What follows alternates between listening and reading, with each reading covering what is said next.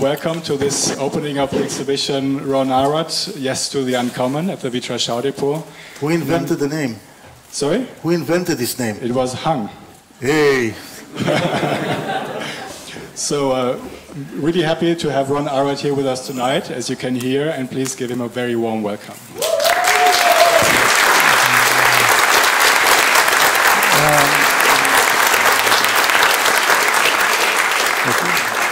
I, I'll be super brief because we will have a short speech outside after Ron's talk. The only thing I want to say is that um, the reason for us to do this exhibition was that we have many of Ron Arad's pieces in our museum's collection. A lot of very early pieces that are connected to the history of the Vitra Design Museum, to the history of Vitra, but also to Ron's history as a designer. And I think some of them are quite crucial in the evolution of his career. Um, and uh, I think we'll hear something from Ron about some of these pieces.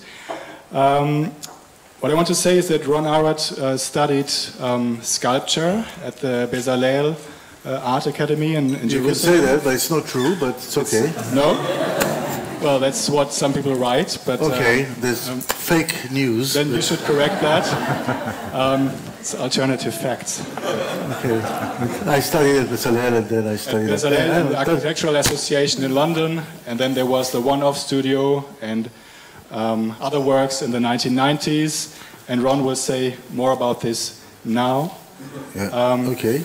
And uh, what I just wanted to mention is that there is a really long collection to, a connection to Ron as a designer from the Vitra Design Museum because he was involved in um, discussions about the museum even before the museum opened. So um, he knows us and a lot of staff members since many, many years, and I'm really happy that we have him again here tonight after a very early exhibition at the Vitra Design Museum in 1990, which was devoted to Ron's work. And um, I think it's a nice circle that we can close today, and I'm really looking forward to hearing more about this from Ron. So we're closing the circle. That's the last time. you, you- should open it again. Okay. And after that talk, and now I let Ron speak because he's uh, very impatient, as you can see. Um, please join us all for drinks on the square in front of the Schaudepot afterwards, and we will have a, a machine outside that Ron will activate.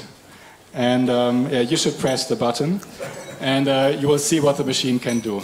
Wish you a very nice evening. Thank you.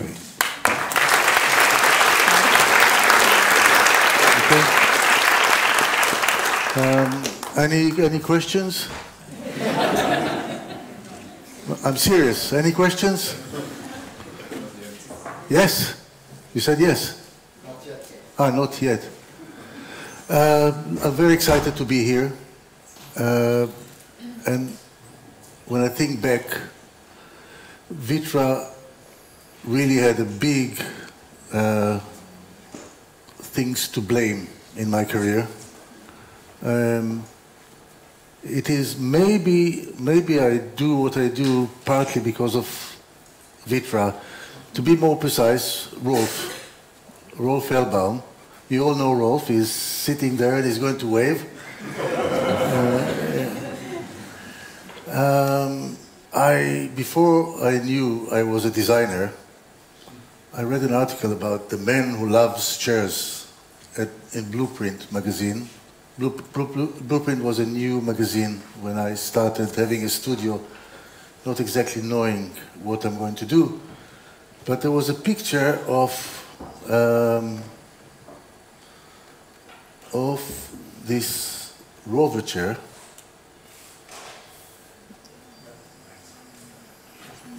Of this, um, and Rolf says, Ron Arad is one of the most interesting designers to come from London. Am I a designer? I didn't know I'm a designer. And I didn't do this, I mean, this, I did this chair when I tried to have an honest attempt to work. I graduated from architecture, then I tried to work for another, for an architect. This is what you do when you graduate. And it didn't take me very long to find out that I'm not cut to work for other people. It's very difficult to work for other people, and it's more difficult to do it after lunch. so so one lunchtime, I did. I didn't uh, come back to the studio. I went to. Where is it? I'll find it. I went to uh, scrapyard. This is, by the way, fake news because this is not the scrap. I wish this was the scrapyard I went to. This is in Switzerland, actually. But I love this picture. I went to something that didn't look as glorious as glorious as this, but like this. And I went to fulfill my idea to make a piece of domestic furniture out of a car seat because I thought, uh, is this music planned? um, I thought they're, they're, throwing lots and lots of, of very invested ergonomic uh, luxury seats and uh, I thought, why don't we? I was recycling, but I wasn't recycling. I thought my reference point was more to do with uh, find objects like Marcel Duchamp or like Picasso's Toro, which is a bicycle seat and a handlebar. I didn't. I thought I thought more of ready-made and objet trouvé more than I thought of of uh, of uh, this is the first time I see it. I didn't think of trouvé. I thought of trouver. And this is, uh, and uh, I didn't know that uh, that Prouvé copied me before I was born. and uh, and later, after I did this, I mean, I sort of made more and more aware of the similarity to the uh, to the Prouvé chair that, by the way, no one I know have seen. There's only one photography that appears. Have you seen it, Rolf? No. But you know it. You know the one I'm talking about. I asked Prouvé's daughter. She's never. No one has seen it. There's one 45 degrees photograph of it. Anyway, he copied me before I was born, and uh, I uh, I had this studio, and um, I didn't know what was what I'm going to do in the studio. And I did this uh, chair about, say, a year before this photograph. And the door of the studio was a found object. It was a bus door. And uh, the, I, had, I made the two chairs, two red chairs, the first ones that I found. And I thought all chairs are red. All the but I didn't know that they're very rare, and later I learned that in auctions, they are three times as much as a black one. But uh, they were there on the floor for a year, no one took any interest of them.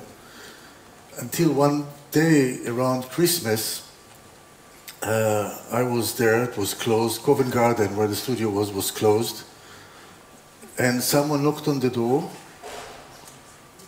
and I said, sorry, uh, we're closed. He says in the French accent, but I want to buy this chair. Ah, we're open, come in. and uh, he bought, this guy bought six chairs and he paid, you want to know how much? 99 pounds per chair. A lot of money. But, and then Caroline, who's sitting here, saw the check after Christmas said, oh, Jean Prouvé, eh, Jean Prouvé. Jean-Paul Gaultier bought a bought a chair. Who's Jean-Paul Gaultier? In 81, I don't think he knew exactly who Gaultier was, but he used to come to London to, to look at street fashion and, and uh, use it in his way. Anyway, later we will, I learned that uh, we were born on the same date and we designed this shop in London. But that was uh, after that, not because of that, because it was a private thing. He didn't put it in his shops. I don't know. It was for his private home. It became a hit by uh, by our standard. Um, other things I was doing those days uh, was what I could do. This is uh, a concrete stereo, um, which was making a concrete, well, making a stereo system out of concrete and pebble, and I, I, by, I thought that by chiseling the concrete and exposing the pebble, the pebbles and the electronic components, I'm making a beautiful object like jewelry. But the interpretation of people was different. The French people called it ruinism and uh, post uh, post uh, Holocaust design and Beirut style.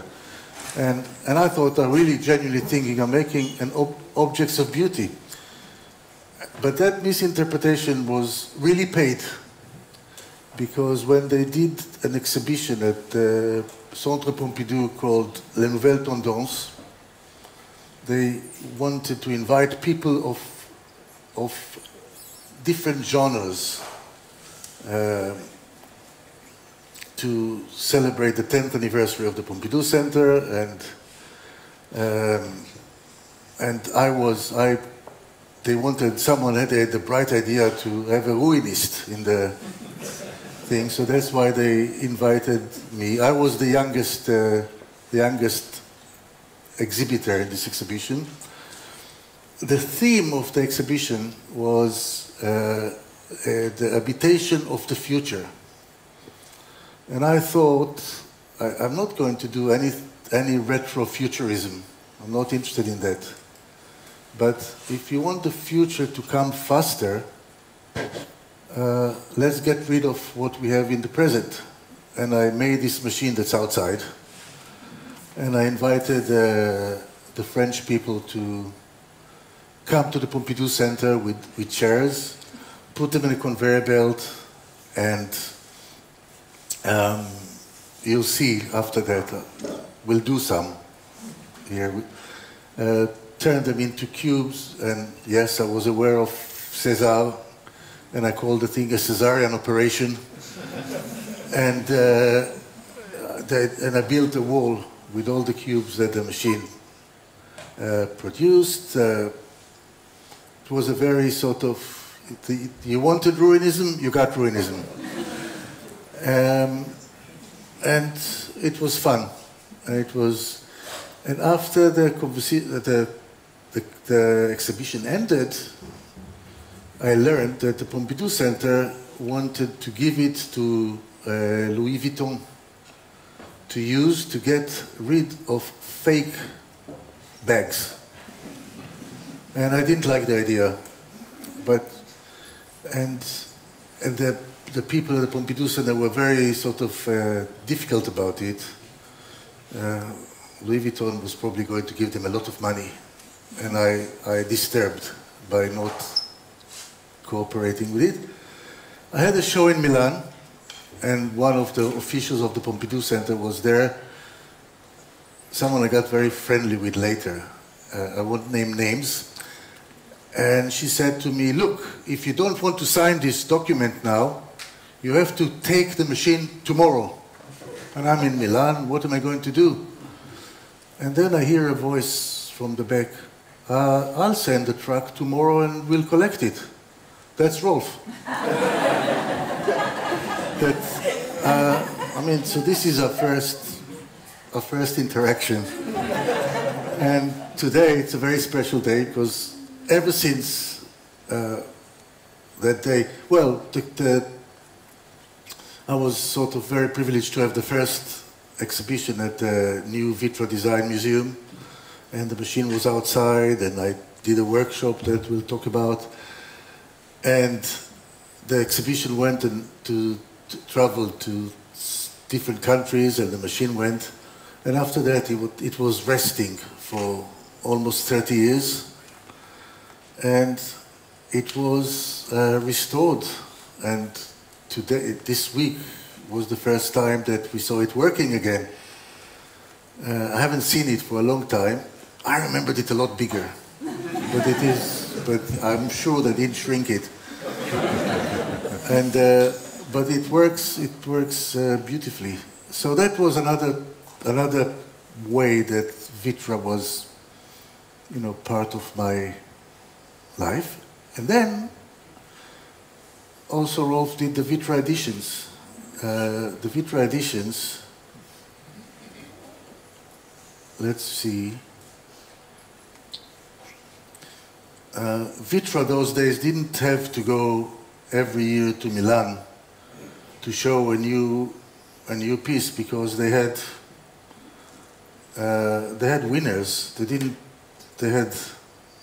I don't have to tell you. Let me find. Let me find the Well Tempered Chair here. Here's the Well Tempered Chair. Um, um, Rolf started the Vitra editions, and the, the, the brief of it was to do things that have no commercial constraints, no commercial considerations, to do a piece of furniture for their own sake, whatever that means. And I, uh, I came and visited uh, the factory here. Amazing, amazing place. I've never seen anything like it. Like thousand people making chairs and uh, furniture and amazing machinery and like you know use whatever you want. I still was more impressed with the basement. In the basement, they uh, had uh, they tested chairs for destruction. So they tortured chairs uh, with lots of with weights, and they dragged them on the floor. And uh, when you went there, it was like the theater of cruelty. but amazing, very fascinating. I always dreamt of taking this room and show it to the public, say the Milan Furniture Fair, to, to, to show people what you know what it takes to to produce chairs. so I came back. I came back to, to London, and I completely failed my mission. Instead of taking advantage of all these facilities, this amazing machinery and technicians and possibilities that uh, Rolf showed me, I went and did something that I, uh, not only that I could do myself, I could do myself better than them. And uh, I remember buying, I had this idea of, of buying uh, tempered steel. Tempered steel is like uh, sprung steel, steel without memory. Uh, and to do like a portrait of a club chair, almost like a Matisse with four lines and you can see the face. So like, oh, two arms, a seat and a back. And I bent them and fixed them with wing nuts to show you that it's reversible, that there's no welding, nothing is fixed. Uh, so this is here, the four, the four uh, patterns.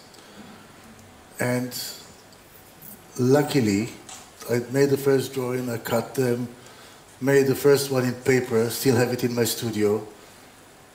And then yellow pages, there was no Google there, but you could, we found tempered steel, and uh, it arrived, we cut it, we welded it, and, and there it was. I knew it's going to be comfortable because there's no, whatever they tell you, it's not difficult to make a comfortable chair.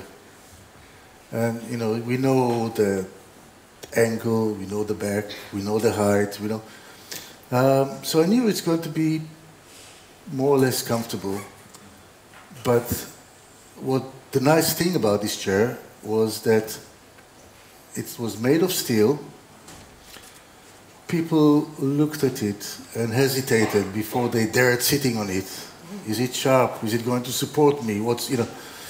And um, I had videos of the first people that tried it, and they all had the same line, as if someone has written and gave it to them to read. Actually, it's very comfortable. Which is sort of maybe it's because it's English and and uh, actually it's like actually against expectations. It's so it, you learn that it's really good to break expectations, and it's better to break expectations positively rather than negatively. It's terrible if something looks comfortable and it's not, but the other way around, it's a lot better. So, I mean, this is uh, in the studio. This is Michael pretending to, to hesitate before he sits on it. And actually it's, it's, uh, it's very comfortable. So this is the first piece that I did. Uh, I used to do studio pieces. This is the first piece, the first commission I had from a company to do anything. Um, so, any questions so far? Because I don't know what I'm going to talk about next.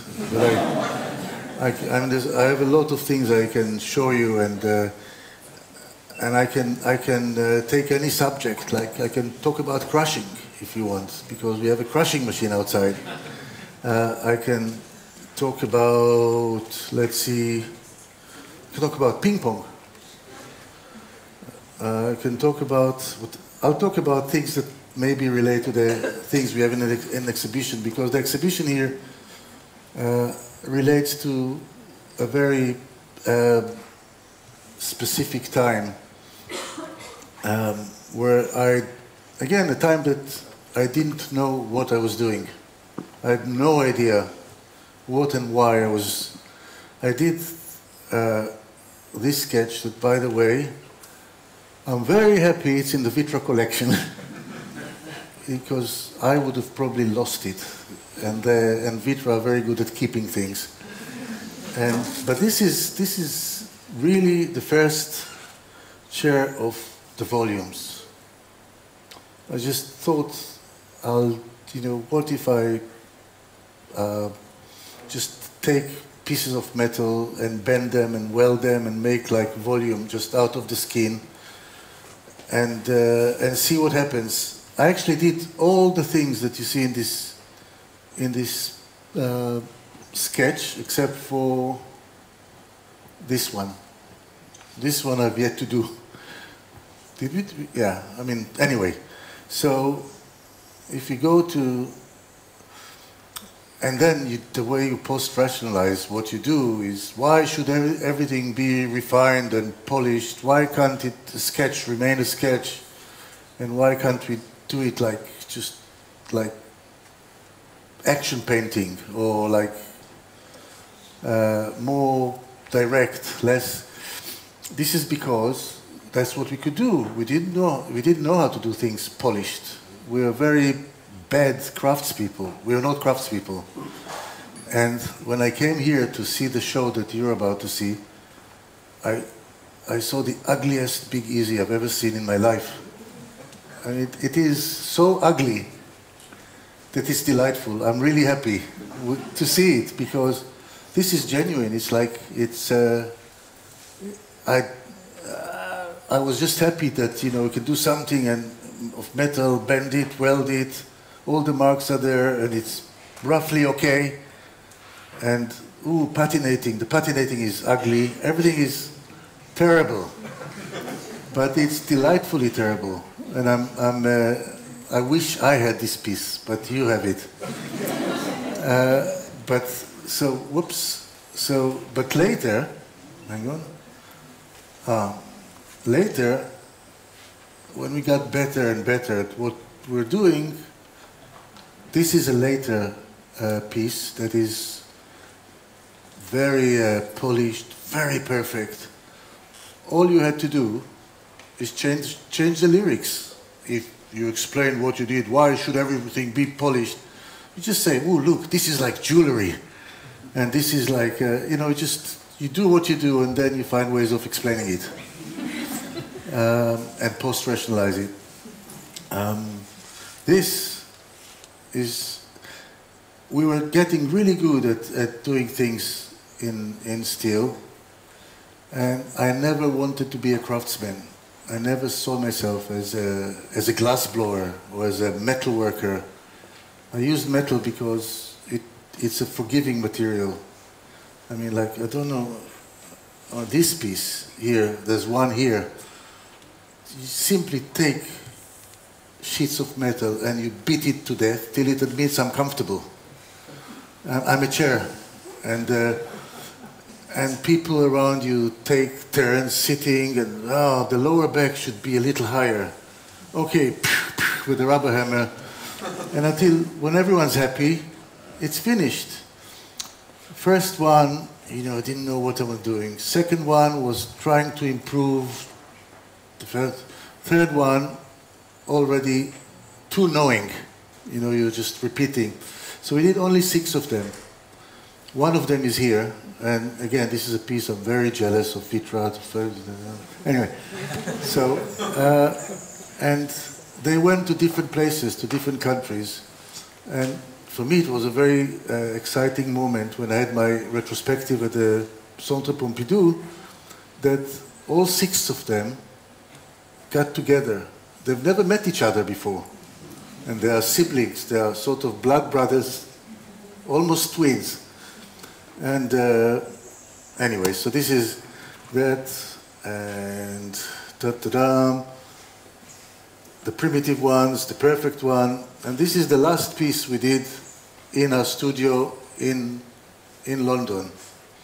Before I moved everything to to Italy, because we didn't want to get better and better and better at producing steel, because I had other things I wanted to do. Uh, but this is the prototype for this one, the D-Sofa that was very refined, where a super piece of jewelry. And this is the prototype. Uh, I think, if I'm right, this prototype that I, I could fake it tomorrow, but I can't. I think it's the most, uh, it's the most uh, the most money someone gave someone else for a piece of ours that we were hardly paid for. So Caroline's upset that I'm talking about, about yeah, yeah. Uh, yeah, sorry, I forget that. It's Anyway, so it was made out of sort of leftovers and things, and it's one of those things that happen. I visited the, uh, the Big Easy many times. Uh, and, you know, this one was done for uh, an exhibition at Sotheby's. Sotheby's once a year have an exhibition called Beyond Limits in, a, in uh, Chatsworth Sculpture Park. And I thought, what if we just pretend that the chair is made out of little molecules and we just zoom into them and then it's you know it's cut the shape of a big easy. I mean, I could have taken any chair, but I decided to take the big easy, and I'll make two one negative and one. I mean, they're identical except one is negative and one is positive. Uh, there was a deadline for the photography for the exhibition. Hey, what happened? um, there was a deadline for for the photography, and we said to uh, Sotheby's, don't worry about photographs. We can do renders that are better than photographs. So this is a render in Chatsworth, and we not only we were late for the catalog, we were late for the exhibition, not by a day, not by a month, but by a whole year. Uh, and I'm really pleased because Sotheby's used this image for the invitation for the exhibition. and isn't it some kind of a victory that an auction house uses something that doesn't exist? to anyway, so um, this is like I really love this model because it is a very uh, accurate model that we do on our computers. The colors uh, to do with the sizes of the things and uh, and the layers and the order of making them. It wasn't not designed to be beautiful, but it is. And after we do it, the poor artisan have to work the whole year making it. This is real. And it's called Even the Oddballs, this piece. And this is a piece that Vitra should be jealous of us because we have it and you don't. um, okay, uh, crushing. You know, I, I don't know how many of you know, but uh, I uh, did designed the uh, design museum in uh, in Holon, outside Tel Aviv. Uh, the brief was, can you design us a museum that we'll be very happy to put on a postage stamp? Every city, every little city in the world was jealous of Bilbao, of, of the second best museum that Frank Gehry did. and, and so, uh, oh, this is like, a, this is the first sketch of the museum. Cotton, this is the first render, and normally with architecture, it's a, it's a journey of compromises and negotiation and cutting corners. And I have to say that the museum looks exactly like the render, and we didn't have to compromise anything. And the reason is because I never believed that they're going to build it. So I didn't, so I didn't have to compromise and to make it more acceptable. The, the idea of the museum was to give it the iconic look from the outside by the envelope and have the envelope be the st structure. It's a museum without a single column.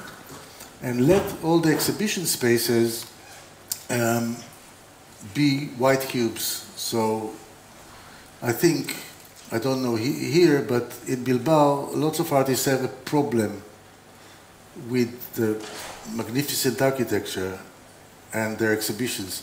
So here, there's the envelope, and there's the, the white cube galleries, and all the services and the circulation is between the envelope and, and the exhibition spaces. Um, I said that there's not, not a single column. I really like this film because it is plastering the belly this belly is structural to avoid any column, and it all had to be plastered in one day for technical reasons, so to avoid cracks and things. And for me, I think Pina Bausch would be very happy with this, with a, with a stage that is curved, and, and it, that's exactly the distance of a, man standing up and lifting. Um, So this is about a month before, before it was opened. And it has, it has a hierarchy of outdoor spaces and there isn't an, a minute that you know I'm inside, I was outside now. It is, you just, there's no threshold. It is, uh, you, you flow in and there's basically one big Oh, we have one. Hi, Adar. A refugee from this museum is here. Uh, she worked on, uh, on the show that I'll show you in a second. Um, and uh, and the, there's like part of the envelope, the structure is creating a, a louver that, that shades. It's a it's a place where nine months a year you don't need any protection from outdoors. So all the circulation is mainly outside as well as, uh, let me see, ooh, uh, when EasyJet celebrated 15 years of the company, they, they did a poster with, with, uh, with uh, all the cities they fly to so let's see. Uh, Belgium got got uh, the atomium. Paris got the Eiffel Tower. Nothing interesting about Cyprus. So they have the map of Cyprus. London got a taxi, and Tel Aviv got the museum. Whoops! But it's not even in Tel Aviv. It's a different city. So, in the same way that the Stones, the Rolling Stones, when they play, when they perform in a, in a city, they do a poster and t-shirts with the symbol of the city. Again, they miss the city, it's not Tel Aviv. So I was asked to, uh, they bugged me and I delayed it, to do uh, an exhibition in that gallery, uh, in that museum. And I didn't want to do another retrospective after the MoMA, Barbican, and the Pompidou Center, I wanted to do something else. So I did uh, a cloud, a cloud of a retros retrospective, which meant uh, we live, I lived in an area that we moved from the real, physical, to, to the virtual, from real thing to computer, from hammers to computers. So I did a show called In Reverse. I did this sort of um, image, which is a toy, a squashed toy. Uh, and then I thought, you know, how I wanted to do it with real Fiat 500s. I have a history with, with Topolinos and 500s, but we don't have enough time to go into it. But I decided to do a show quality in reverse, in reverse, because it's taking, uh, you know, one of the definitions of design is to, to uh, impose your will on a material through some processes to perform a function. And here I took something perfectly functional, three-dimensional, and turned it into a useless two-dimensional thing, just the opposite of what we normally do. Um, it was a big journey to find out how, to, how we can achieve it. Uh, and the Italian people we worked with said, ah, we'll do it alla casa. I said, how? And I did this, this sketch, and I said, what, you're going to do it like that? Little did I know that they tried.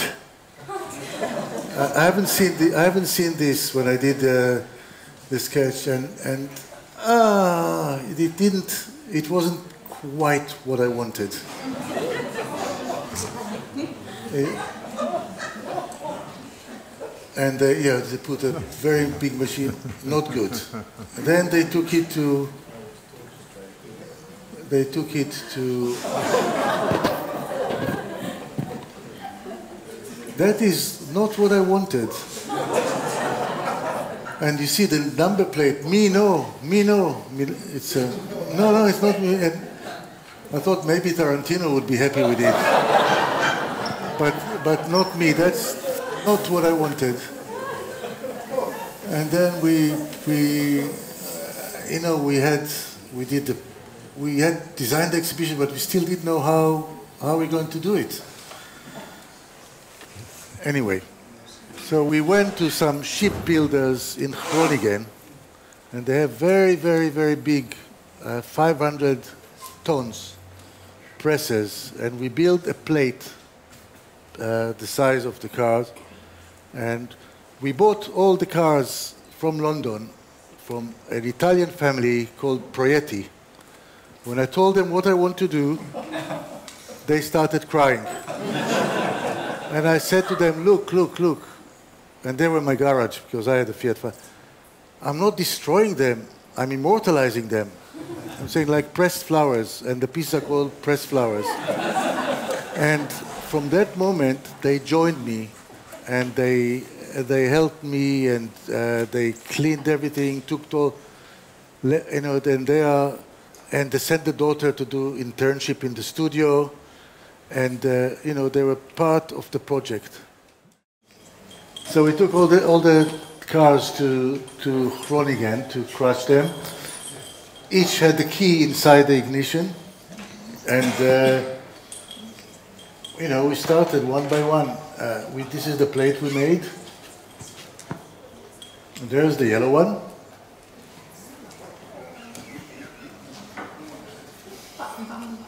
Okay, so Okay. This is just the weight of the plate before we uh, employ the uh, the big uh, thing, the big 500 tons.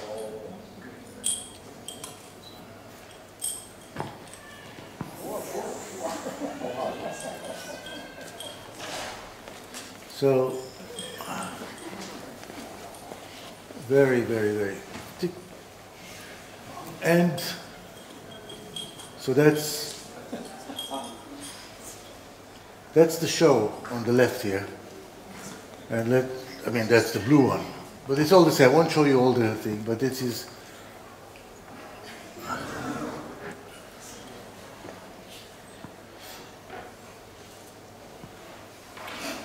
Doing it faster. And then, so that's that's the pieces on the wall.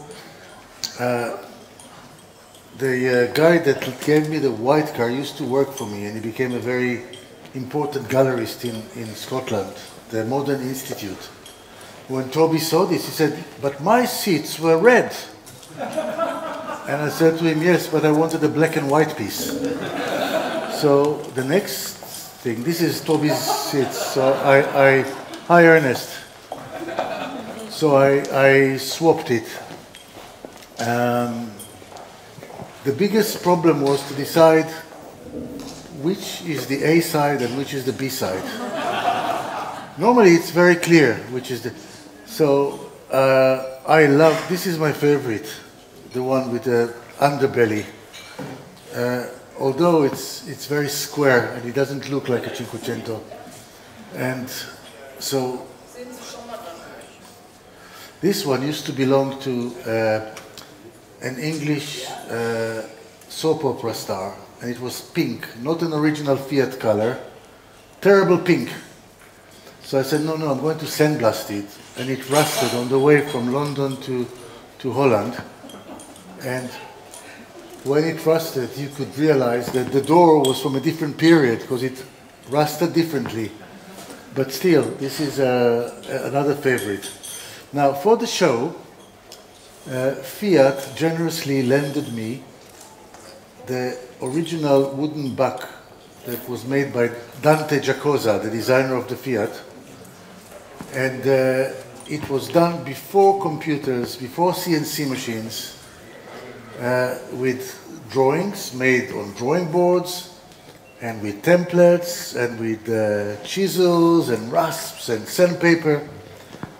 A masterpiece. And this is more or less my age. I'm slightly older, I have to say, than this. But that's not wasn't my problem. My problem was how could I have in my exhibition a piece that's more beautiful than anything I've done? This is terrible. So I decided to, to make a competition to, to Dante Giacosa. By the way, in Turin, I met his, his uh, family, his children, very nice. And I, this, I made this piece, which called the Roddy Giacosa. So it is uh, made by rods, and one by one, it took uh, six people half a year to do, because you can only do one rod after you do the other, and it's done. Wait, wait, wait! It's done. I had to build uh, the lattice structure which is a symbiosis between digital, because we had the model uh, of the Fiat, and it was laser cut digitally, very precisely. And these people just uh, did one road after the other, and the A side, which is this, is as beautiful as the B side, which is this. Um, Every corner was sculpted. This is Valentino. And I signed it with the Big Easy. And another thing that you don't know is that my name, Arad, means bronze. So there's a bronze road there. That is uh, that that was that was my my signature. And the nice thing is that this Ah, the, the B-side, inside, looks just like an Aborigine uh, painting. I mean, this is the dots, nothing to do with me. It's the way the welders weld, you know, the, the mustards. I mean, we're going to, with all the digital age, we're going to, to lose them. We're going to lose them to CNC machines. I love CNC machines, but I also love artisans. This piece is a collaboration between the two. This is the B side, I mean, as beautiful as the A side. And uh, the nice thing that this piece is now owned by the owner of Fiat. Uh, and, ah, and then I, I, looked at all the lattice that I made in, to make it, and I decided to put them all together, and I made a piece that was called Blame the Tools. In Vitra, we have Blame the Tools too, the, the chair in Corten, which is, uh, it's the same. And uh, this is in the Royal Academy. Uh, Bloom, and it is made all in stainless steel, so it's a great outdoors piece. I think it will be fantastic in the camp of Vitra, Rolf. Yeah, it's. a. Uh, uh, no, but does anyone want to make a gift to Vitra?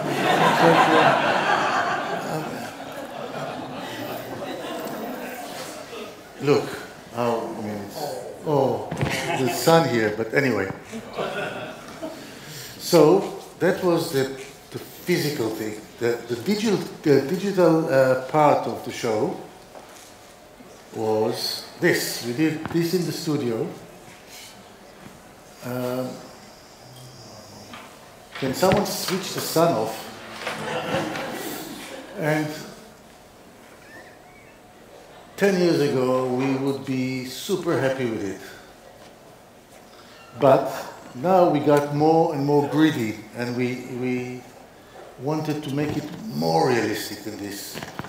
So, we contacted a company that analyzes what happens to cars in accidents. And, whoops, sorry. I'll start again. Company that analyzes what happens to cars in accidents and I said, look, I have to ask, this is the new Fiat, not, not the old one. I have to ask Fiat if I can uh, let you have the, uh, the files, because Fiat trusted me with the files of, of the car. And I said, it's okay, we have them, because we work for Fiat. They, they analyze uh, for Fiat what happens to cars in. So this is the canvas. Again, all the colors here nothing to do with art or with aesthetics. They are just work colors. Then we took this to a company called uh, Framestore. Framestore is a, is, a, is a company in London. They make all the, uh, all the special effects for films like Harry Potter, Gravity, everything that looks real in films that you know that is not real is made by uh, Framestore. And they were super, super generous to us. We came and studied like what we should, just like with the real one, we had to study what we take out of the cars for the crushing. Here we just, we had every little nail here that we, in the files from Fiat. But we just did studies of what we could take out. And, you know, it's, and then we ended up with this piece. Is the sound working?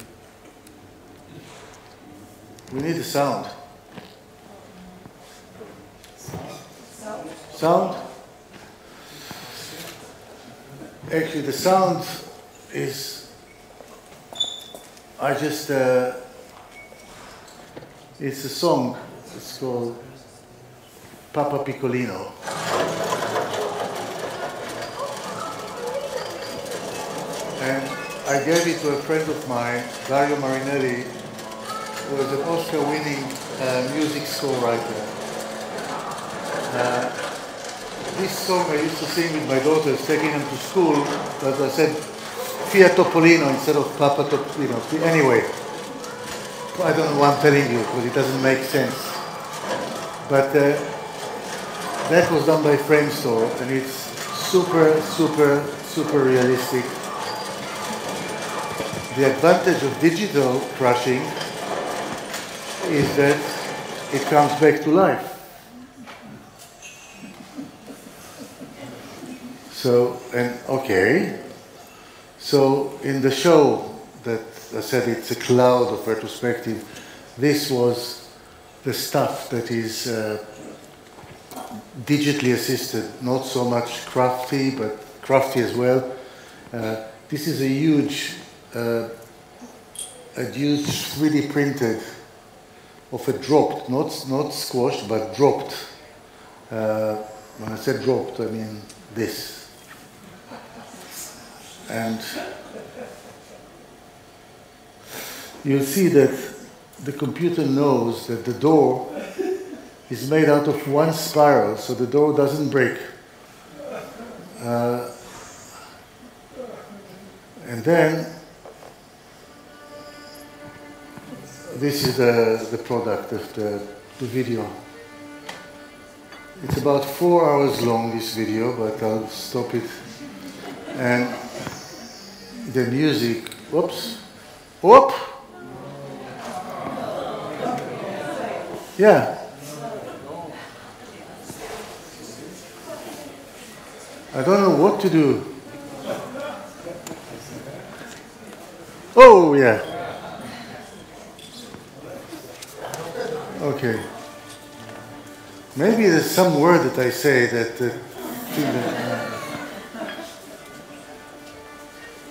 the music is a viola caprice by my brother, who's, who wrote it and plays it, and it's it it's a, has a different rhythm than the film. So next time it will be. I mean, they sort of. I don't know, too complicated to explain, but.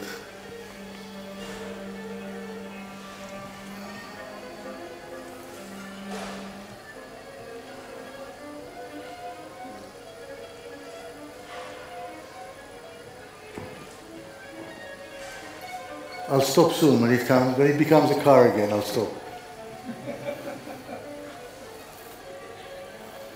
So this, this piece is called Let's Drop It, okay? Because it's not crushed; it just dropped.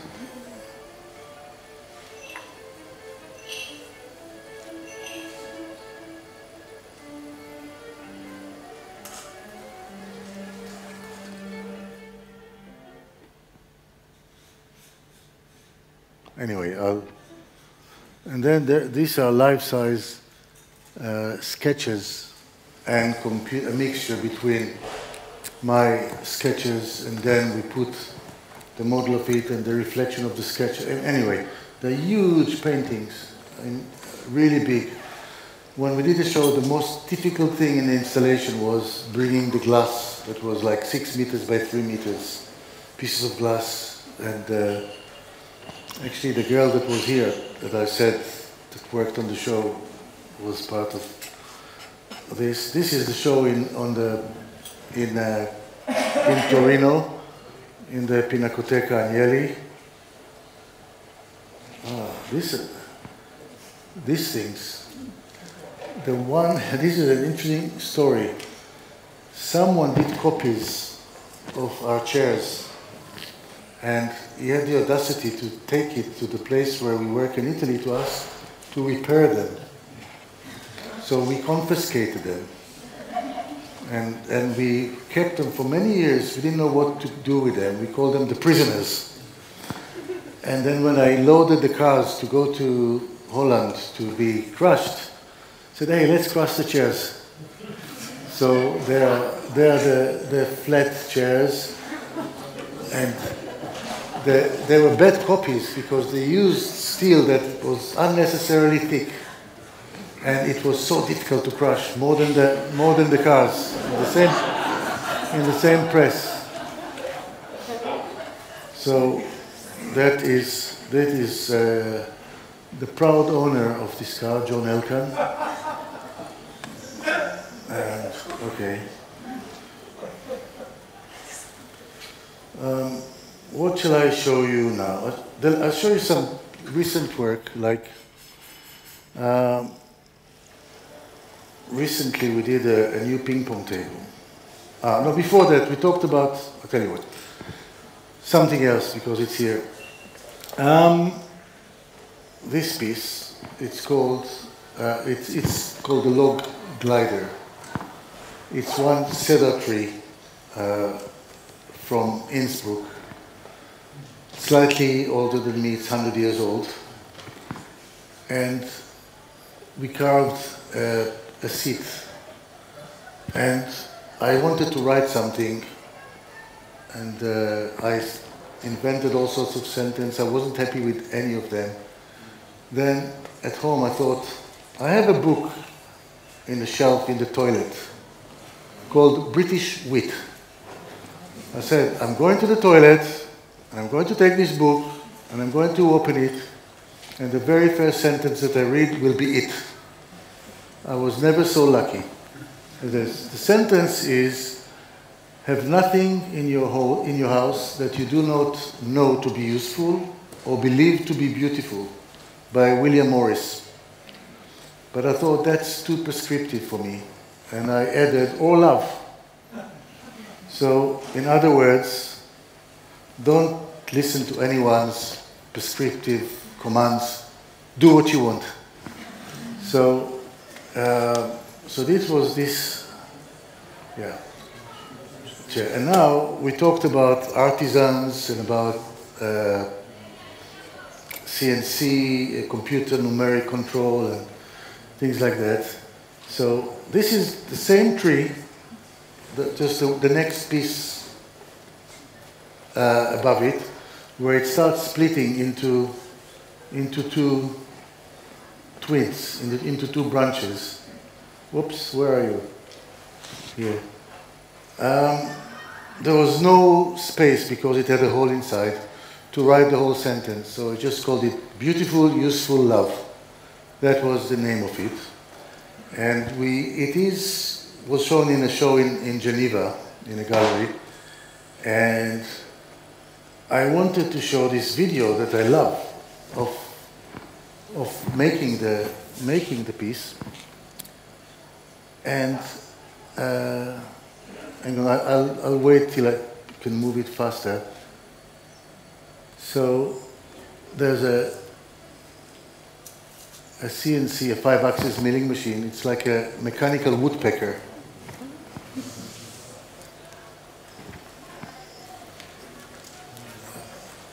I wanted to show this, this video in the gallery, and my gallerist said to me, it is a wonderful video, but the last thing I want is my clients to see this film. I want them to imagine you with a chisel and a hammer.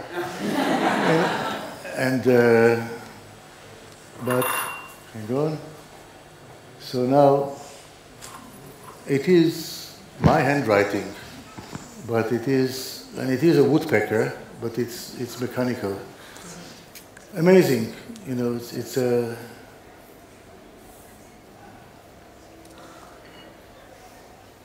the thing is that the more sophisticated the machine becomes, the less machine-like the product is. This is definitely my sloppy handwriting. That is not a machine, it's my hand. But the replication of it is done by this. But now, what you don't know about this piece is that it glides, it rocks.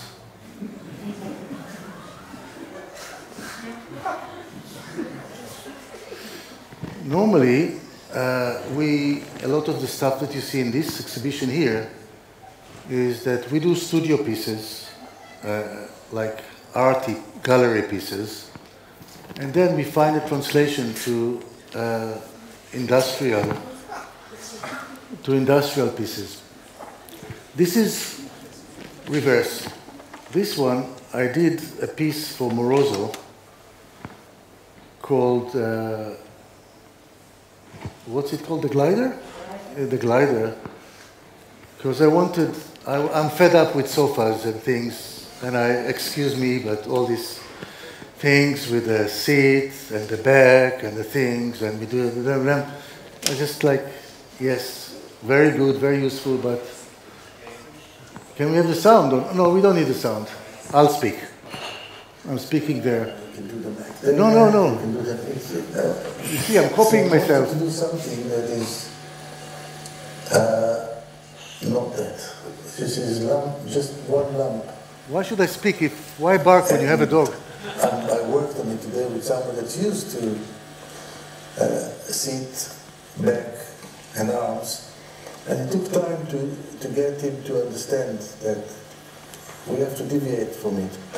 But I didn't show you the main feature about this piece. It looks like a very solid, heavy piece, just a lamp.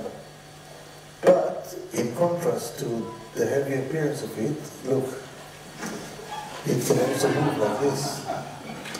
So after And that, it is I thought it's not, it's not heavy enough, I'll make it heavier, and then I looked for the tree. Unlike the And- normal porch gliders, they all have big Okay, so after that, that was followed by this one.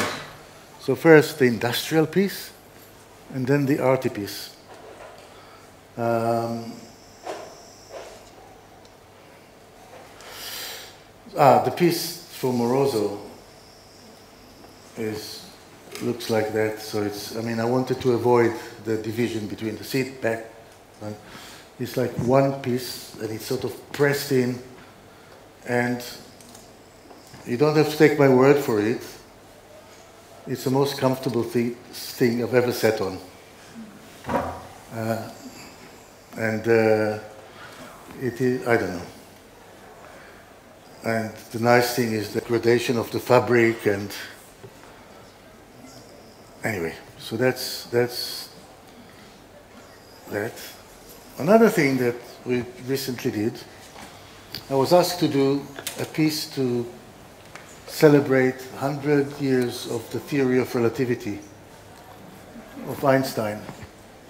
And they asked me to do the Einstein Foundation to do a bust of Einstein, and then they'll give it to people like Obama to sign and to uh, to decorate, and to then to Barbra Streisand.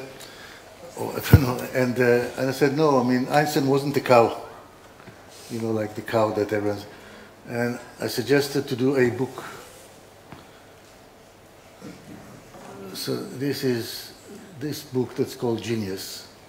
It has it has hundred pages, and each one is written by uh, a visionary.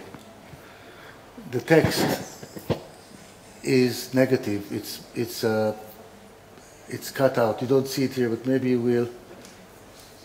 And look, it, uh, the pages are turning by gravity.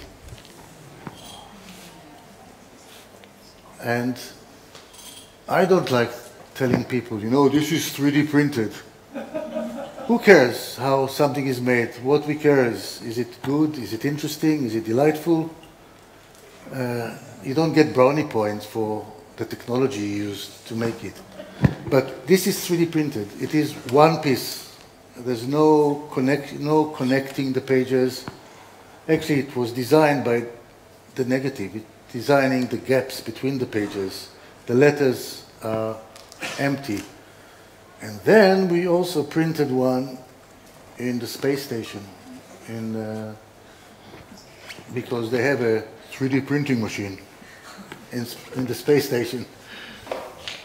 But what cheered me up the most about this, I met the astronaut who did it, and his name is Noguchi. How nice! There's Israel there for some reason.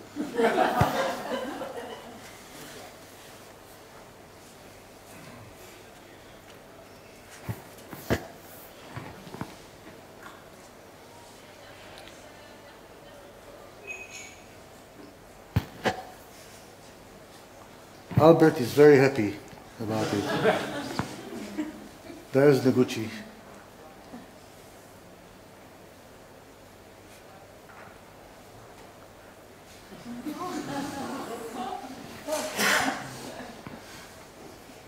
Um, what shall I show you? I'll show you ping, the last ping pong table we did. Uh, this is an early piece. It's called the ping pong table. And this is at the Royal Academy uh, in the summer show, like, I don't know, six years ago. And the best thing, the best story about this is that Anthony Caro was the, the national sculptor of England before he died, shortly after he came to see this in the opening morning. And he comes to me and says, This is a marvelous sculpture. And I said, you, I said, thank you, Sir Anthony. And he says to me, you should try and play ping pong on it. and I thought, this is, this is it, you know, like all this discussion about design and art and sport equipment. Here, the, the, you know, the national sculptor comes and he sees the sculpture before he sees the ping pong table. And um, this is a show I did, it was first drawn, the show I did with, with my friend Francesco Clemente, the painter, in Bologna. Uh, he's a, he's a, also,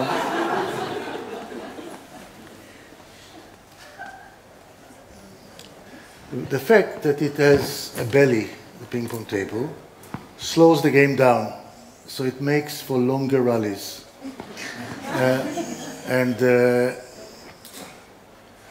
ah, this is a show that I had in Moscow, and they had the ping pong table, and I made a big mistake because Gary Tatintsian, the gallerist, thought that no one, now this is in Geneva, da, da, da, yeah, Gary Tatintsian thought that no one should allowed not only to play with it, also to breathe next to it. and I said, I said to him, Gary, this is a ping pong table, and you have to, and I convinced him to let everyone play, and this was my biggest mistake, because he's such a good player. and I, uh, I lost to him terribly. I should have left it like, but anyway, so, anyway, so, oh, this is a, I don't know if I should tell you the story, but I was, I went to Madrid to play against Nadal. Why are you laughing? Um, to play against Nadal uh, on this new ping pong table. This ping pong table is called 10 layers. It's made out of 10 layers of stone. And the first one was just bending one way. This is uh, concaved completely. So it is, uh, it slows the game even more. Also, and he, um, this is a, a fantastic uh, company uh, Cosentino in, in uh, Almeria. And for some reason, Nadal is the ambassador of the company. I think for some reason, I think financial reason. But uh, is, is the, oops. Um, so it's not made of circles. The circles appear as a topography, like some pieces we did. I think Ernest, are you here, Ernest? Is Ernest here? Yes. Yeah, this is something that Ernest Moolman uh, did. So the idea is a continuation of this, which is this is another another story that uh, it's made of corian, and it's. Uh, I was asked by uh, Dupont, the producer of corian, to do a piece for them for Milan, and they were so proud that the glue that you use to bond together slabs of corian is uh, made of corian. And they showed me a block and said, you can't even see where the seams are. And I was so proud of it that I immediately thought, I want to see the seams. so, and the seams, the, this thing is about the seams. Said, can we use like black glue and red? And so the, uh, the ping pong table is more or less the same topography, but it's not about the glue, it's about uh, about the layer of different color stone. Uh, I was very jealous of these two guys, the people in Almeria, they just finished making it. And, and they played before me.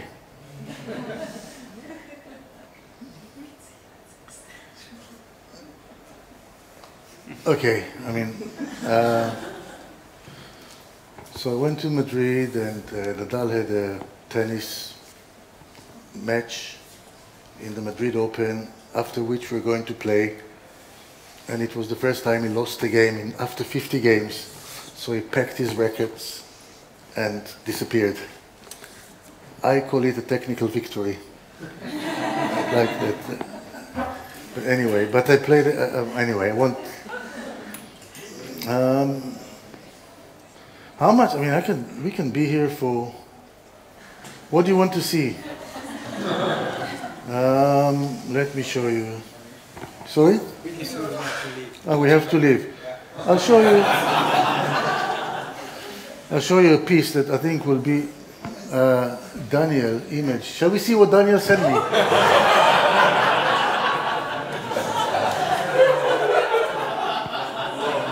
Once. Okay. Yeah, I mean, this is my friend Daniel. He saw play. I don't know more about it than you. Pleasure sharing it with you. Uh, okay. This is a piece that is now. I don't know how to say the name of, of the city in. What's the name of the city in Holland? The, the Europe Cultural. Sorry? No, no. It's near Groningen. What's, what's the name of the city, Ernest? Say it again? Exactly. so this piece is there now, but it was done. Ah, Ernest, this this for Frank Stella, uh, and this is a piece that I did for the for the Royal Academy for the court. Every year, a different artist gets the court for the summer show. Uh, this is Kapoor, and this is Damien Hirst, and this is Jeff Koons, uh, Kiefer, uh, and two years ago I did this one. It's called the Spire. It has, it has a camera at the tip of it and a screen, and you can see in the screen what the uh, what the the sculpture sees. Uh, Google, I called it spire, which is a pun in English between a spire. Spire is this shape of the top of a church. Google were very happy to sponsor it, and then they realized that the name is Spire, and I have a letter from them saying we cannot support a piece that is called Spire because we're accused of spying. I said to them, I'll change the name. But uh, they said, no, it's too big brother for us to, uh, anyway. So, so this is, it is uh, a piece that, I mean, the whole secret here is that the, the cuts, the sections are circular and they're slanted, which means that the cone is oval, so it's always continuous. So uh, this is made by the same people that crushed the cars in Groningen. I hope I pronounce it okay. And, and uh, although inside the mechanism is like a Swiss clock, but dum, dum, dum, wait, where, can, where is it? Let's see. That is, what I showed you before was renders, but this is real. And uh, I think this will be fantastic in the Vitra camp. I think uh, because it has, it has a, and it's not that expensive. and it has, it has a camera that can be connected to your website. So you can be in Australia and look in your phone and see the Vitra house, the fire the, you can see the whole, yeah, I mean, I, I'm serious. And it's, and it's touch, it's made amazingly by this amazing uh, ex-shipbuilders. This is a speeded up, don't, this is, I'm sorry about that. I'll show you another piece that they did and maybe we can go after that. It's a piece that's called Totot, which is Train of Thoughts of Trains. Every year, uh, a different, uh, they give, they give the um, St. Pancras station like the, the terminal of Eurostar, to a different uh, artist to do a suspended sculpture. And that is the brief suspended sculpture. That's where you have to suspend. I'll, I'll skip the thing. Wait, wait. I, sometimes when I skip, okay. So this is by the them shipbuilders. And this is, I'm looking at this. It is engineered amazingly and made amazingly. And it was brought to London by the Dutch and was handed over to the, Brit, the British installer on the night where England voted to leave Europe, on of the night of Brexit. And there's a, there's a, a, a wall there, a glass wall that is actually the border. And uh, it was sort of very, I'm still in Holland here. Um, amazing job. What, what it was, it was about the illusion of something moving from one place to the other, but it stays in the same place, like the London train station, train system. They don't move. And there's a lot of problems with it. Anyway, this one. um, so, um, hang on, let me. So it was a very exciting time.